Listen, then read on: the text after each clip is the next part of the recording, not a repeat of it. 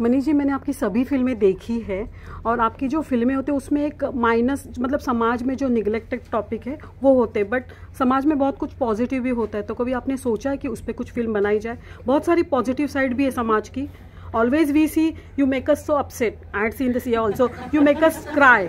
Why that? नहीं नहीं नहीं नहीं, ये ये है नहीं समाज का सी अगर आप देखें हम जिस समाज में रहते हैं हमेशा दो पहलू होते हैं। जैसे हम न्यूटन की बात करें वो एक पॉजिटिविटी की कहानी थी, एक इंसान जो दृढ़ निश्चय किया था कि नहीं, मुझे अपनी डेमोक्रेसी के उसूलों पे ज़िंदा रहना और उस पर काम करना।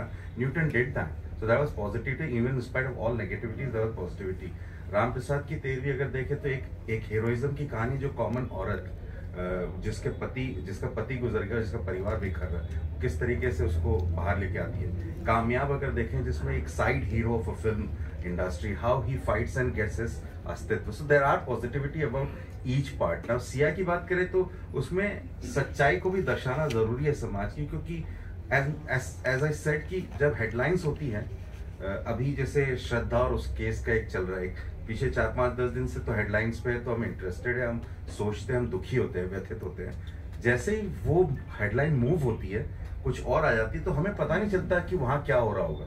तो ये बहुत ज़रूरी है कि हम उस पहलू को भी देखें, समाज उससे शायद सुधरे और कुछ हम अच्छा कर पाए। तो हमारी फ़िल्म सोलफुल होती है ये नहीं होता कि सब दर्द ही होता है सच्चाई होती है। अब सच्चाई में कभी दर्द मिलता है कभी खुशियाँ मिलती है कभी आशा मिलती है कभी निराशा मिलती है।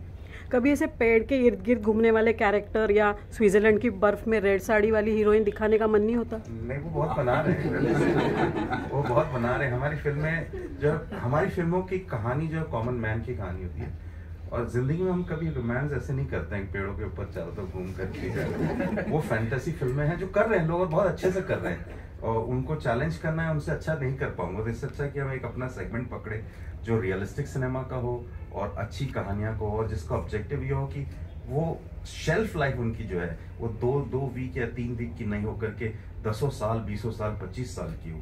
लोग आज भी आँखों देखी को याद करते हैं लोग आज भी मसान को याद करते हैं लोग आज भी न्यूटन को याद करते हैं। अ, किसी को पता नहीं उनकी बॉक्स ऑफ़िस कलेक्शन कितना है बट वो फ़िल्में जहन में है वो उनकी शेल्फ लाइफ बहुत अच्छी है और मैं वैसे ही फ़िल्में बनाना चाहता हूँ। Thank you Manish I wanted